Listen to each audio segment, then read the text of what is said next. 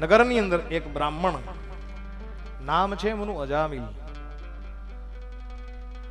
પણ સંગતના કારણે પોતાનું કર્મ ભૂલ્યો આ અને આ માણસ ઘાતકી થયો, ક્રોધી થયો, હાથની અંદર બે બે કુવાડા રાખે, લાલ ઘૂમ આંખ્યું હોય. હા, અને સાહેબ, કોઈની હામું ન ફરી થાય. આવો અજામિલ.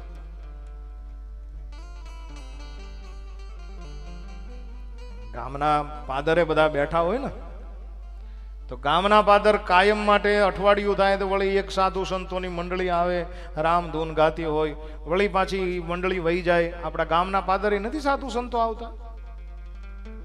એમ અજામિલના નગરની અંદર એક વખત એક સાધુ સંતોની ટોળી આવી. મંડળી આવી છે. જમાયત ઉતરી ભાઈ મહંત સાથે છે. અને જમાયત આવી અને ધીરે ધીરે ધીરે ધીરે ધીરે ગામના પાદર જઈ અને કીધું કે ભાઈ, આ ગામમાં કોઈ ભગતનું ઘર ખરું? અમારા સાધુ સંતો, અમારા બ્રાહ્મણો જ્યારે અજાણ્યા ગામની અંદર જાય ને, ત્યારે એ શું કે ભાઈ, આ ગામમાં કોઈ ભગતનું ઘર હોય તો કયો. કોઈ સાધુ, કોઈ ભેખ ભગવાન કોઈ દી એમ ન કે આ ગામમાં કરોડપતિનું ઘર ખરું. આપણે ન્યા જઈએ. નહીં એ નહીં કે સાધુ સંતો શું કે ગામમાં કોઈ ભગતનું ઘર હોય તો કયો?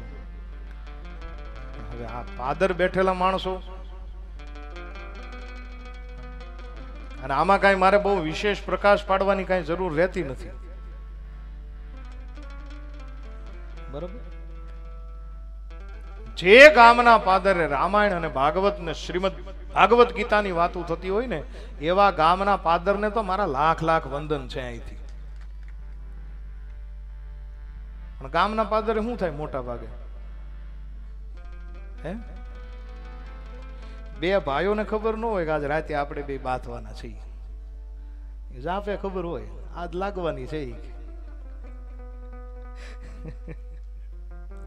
મારી કોઈ ટીકા ટિપ્પણી નથી. અને એટલા માટે જ મેં તમને પહેલા બાંધ્યા કે જે ગામના પાદરે રામાયણ ભાગવતની અને સત્સંગની વાતો થતી હોય,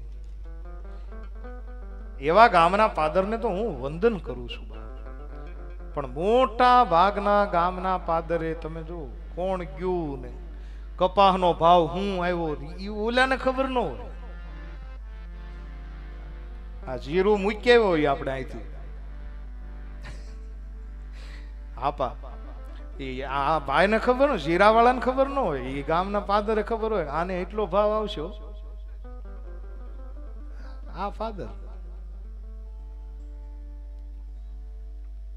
અને જે આઘી પાછી કરતા હોય, જે નિંદા કરતા હોય, જે કૂથલી કરતા હોય ગામને પાદર બીજી કોઈ વાત નહીં. આવા આવાને મારી વ્યાસપીઠ છે ને, કોડા કે કોડા. હું હું કામ કહું એ તમને કહું. સમુદ્ર મંથન થયું ને સમુદ્ર મંથન. ભરતદાદા ભાગવતમાં સમુદ્ર મંથન જેદી થયું તેથી કૌસ્તુભ મણિ નીકળ્યો એ વિષ્ણુ ભગવાને રાખ્યો હારુણી નામની બધિરા નીકળી દાનવો પી ગયા છે. ઉચ્ચશ્રવા અશ્વ નીકળ્યો છે સમુદ્ર મંથન વખતે. એ પણ દાનવોની પાસે. ઐરાવત હાથી નીકળ્યો ઇન્દ્ર લઈ ગયો. ઝેર નીકળ્યું, ભોળાનાથ પી ગયા. ઘણી બધી વસ્તુ નીકળી. લક્ષ્મીજી નીકળ્યા, એ સ્વયંવરથી વિષ્ણુ ભગવાન પાસે રહ્યા. પારિજાત નામનું વૃક્ષ વૃક્ષ નીકળ્યું છે. ઘણી બધી વસ્તુઓ નીકળી છે. કામધેનુ ગાય નીકળી, પરોપકાર અર્થે ઋષિમુનિઓને સોંપવામાં આવી. કોડાય ઘણા નીકળ્યા. દા દેવોએ કીધું કે ભાઈ, આ અમારે જોતા નથી. આ રાક્ષસોને કીધું કે, દાનવોને કીધું કે, ભાઈ, તમારે જોતા હોય તો એણે ના પાડતી હતી અમારે નથી જોતા અને પછી તો ભાઈ થયો ઢગલો.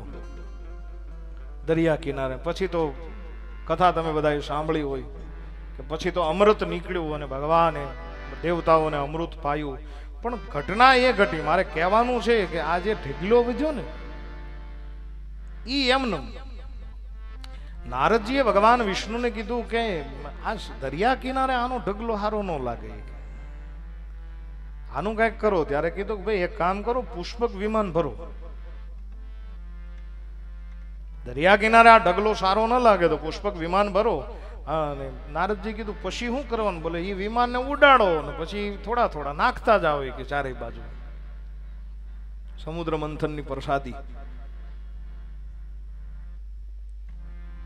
એવા ગામના લોકોએ સાધુ સંતોને છેતર્યા છે. ફાધરે જઈને સાધુ સંતોએ કીધું કે ભાઈ આ ગામમાં ભગતનું ઘર ખરું, તો એકા બીજાએ કીધું કે એલા, આ અઠવાડિયું ન થાય ને પાછા આવે, અઠવાડિયું ન થાય ને પાછા આવે, આને એક વખત અજામિલનું ઘર બતાવી દો ને આ ગામ છાંડી જાય. ગુમરાહ કર્યા છે સાધુ સંતો. બે ચાર જણાએ કીધું કે અહીં બહુ એક મોટો ભગત રહે છે. શું નામ છે? અજામિલ ભગત. તમે ત્યાં જાઓ, એમના ઘરે જાઓ, ખૂબ સુંદર મજાની તમારી સરભરા કરશે. સેવા શુશ્રૂષા કરશે. સાધુ સંતોને કાંઈ ખબર નથી કે અજામિલ કોણ છે. સાધુ સંતો ગુમરાહ થયા છે. હા, અને જમાતે કીધું ચાલો પછી તો અજામિલ ભગતના ઘરે જઈ. હા, અને આજના દિવસનો વાસો કરીએ. અજામિલનું ઘર પૂછતા પૂછતા પૂછતા પૂછતા સાધુની જમાત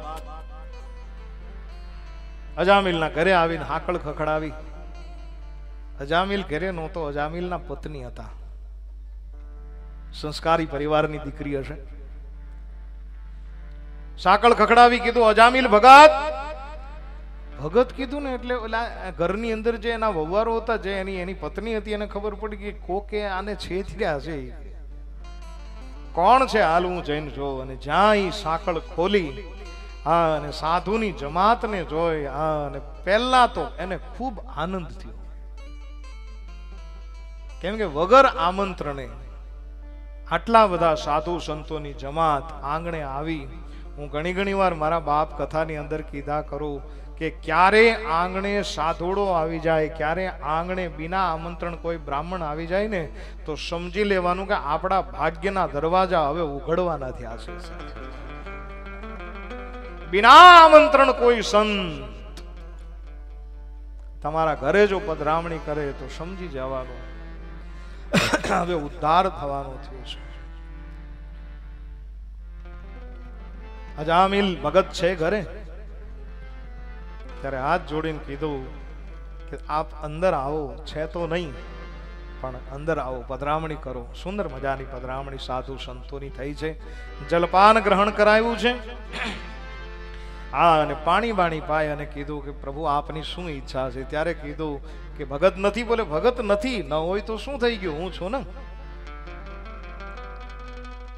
હે સાધુ સંતો, તમે કહો, એ સેવા કરીશ.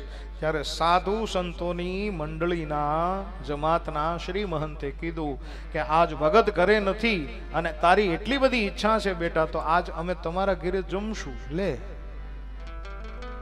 આજ ભોજન પ્રસાદ લઈ અને પછી જાશું. અજામિલના પત્ની મૂંઝાણા કે ભાઈ રસોઈ બની જાય, પણ જો ઓલ્યો આવી જશે તો આને મારશે. પણ હવે કીધું જ છે તો આને રસોઈ બનાવી, જલ્દી જલ્દીથી બને. સુંદર મજાનું દૂધનું તપેલું છે, અંદર સાકર નાખી છે, રાંધેલા ભાત નાખી અને સુંદર મજાની ખીર બનાવી, જલ્દી જલ્દીથી બનાવી અને સાધુ સંતોને કીધું કે બેસી જાઓ. અને દરેક સાધુ સંતો આજ પંગતની અંદર બેસી ગયા. સુંદર મજાનું ભાણું પીરસાણું પણ તમને કદાચ ખબર હશે, આ ગામમાં તો સાધુ સંતોની સાથે રહેવા વાળા માણસો છે સાહેબ. હું જ્યારે જ્યારે અહીંયા ભંડારાની અંદર આવ્યો, બજરંગ બાપુએ જ્યારે આ ભંડારા મંડપ જ્યારે કર્યા ત્યારે આવ્યો, આખું ગામ એક પગે. અમારા સાધુ સમાજમાં એવો નિયમ, અમે સીધા જમીનો લઈએ.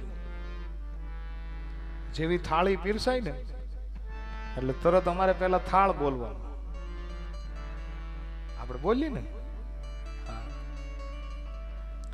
ભગવાનનો થાળ પીરસાય, આખો થાળ બોલાય, હોળી પાછી સાખ્યુની જમાવટ થતી જતી હોય.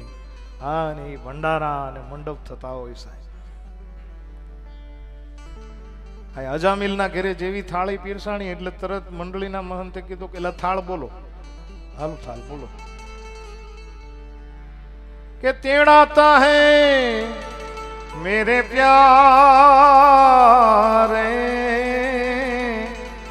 લાલ જી કો તેડાતા है। मेरे प्यार। આ અમારા સાધુ સમાજનો થાળ છે।